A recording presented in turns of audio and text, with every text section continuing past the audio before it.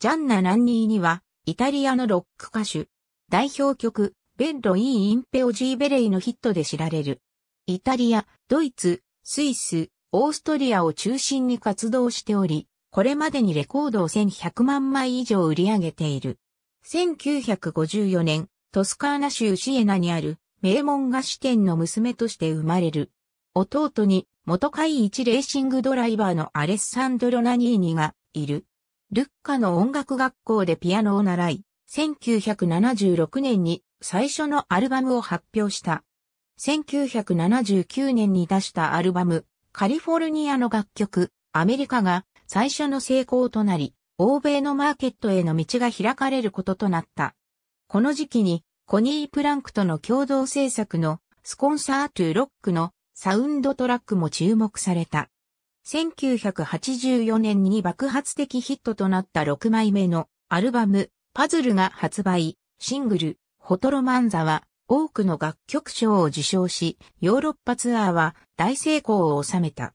さらに、モントルージャズフェスティバルに参加や8月から10月にかけてイタリアの40弱の都市でのコンサートツアーを開き、30万人を動員した。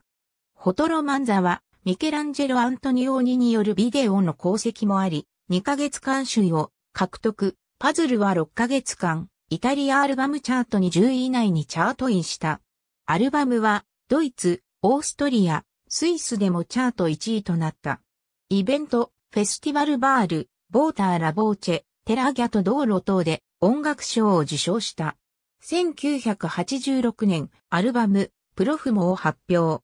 シングル、ベッロ・イー・インペオジー・ベレイの人気に牽引され、イタリアでプラチナ、ゴールドディスクを受賞、ドイツではゴールドディスク、オーストリアとスイスでもプラチナ、ゴールドディスクを受賞した。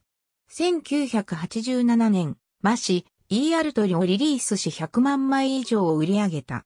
1990年、エドワルド・ベンナートと共に、1990年のイタリア開催のワールドカップのテーマソング、うん、エステートイタリアーナを書いた。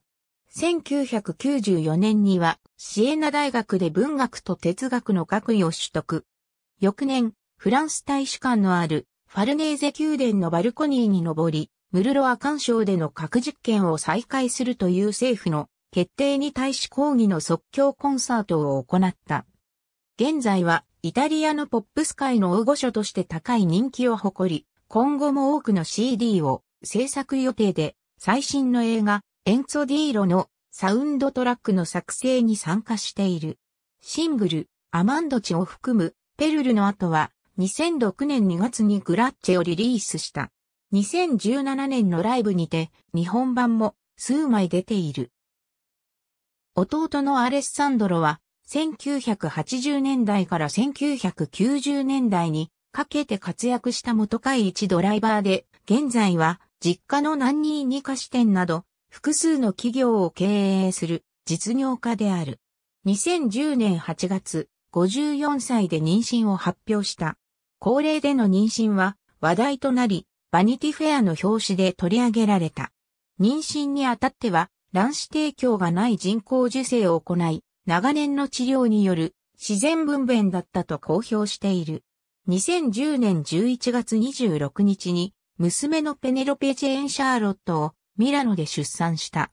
2017年にはガールフレンドであるカーラとイギリスのロンドンに移住することを発表した。ありがとうございます。